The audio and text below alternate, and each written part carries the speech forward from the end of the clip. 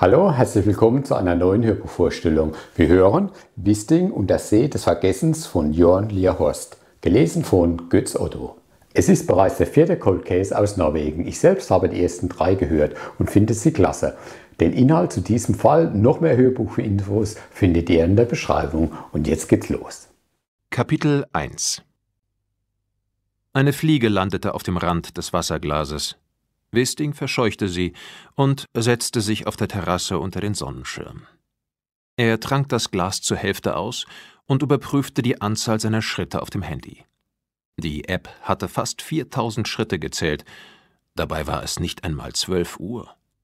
Die meisten Schritte waren registriert worden, während er mit dem Rasenmäher hin und her gegangen war. Wisting hatte es sich zum Ziel gesetzt, im Urlaub jeden Tag mindestens 10.000 Schritte zurückzulegen, war im Durchschnitt jedoch bei unter 8.000 geblieben. Einige Jahre vor Ingrids Tod hatten sie beide von Thomas einen Schrittzähler zu Weihnachten geschenkt bekommen. Es handelte sich um ein kleines digitales Gerät, das am Gürtel oder am Hosenbund befestigt wurde. Es zeichnete die Bewegungen im Hüftbereich auf und rechnete sie in Schritte um. In den ersten Wochen hatten Ingrid und er ein wenig gewetteifert, wer sich am meisten bewegte. Doch je mehr Zeit verging, desto öfter war das Gerät in der Schublade liegen geblieben. Nur das Handy hatte Wisting immer bei sich. Er blickte auf sein iPad und öffnete den Internetbrowser.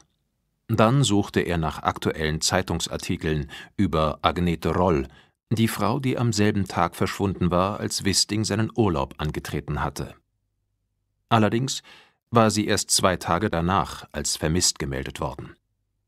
Die ersten Artikel hatten noch von der Suchaktion der Polizei berichtet, mittlerweile hatte die Sache aber immer weniger Ähnlichkeit mit einem normalen Vermisstenfall.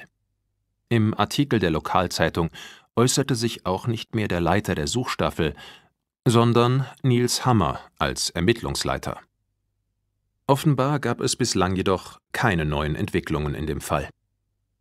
Die 32-jährige Agnete Roll war mit ihrem Mann in der Innenstadt von Stavern gewesen.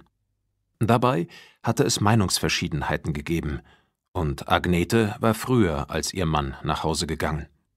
Eine halbe Stunde später hatte er zu seinen Freunden gesagt, dass er auch nach Hause wolle.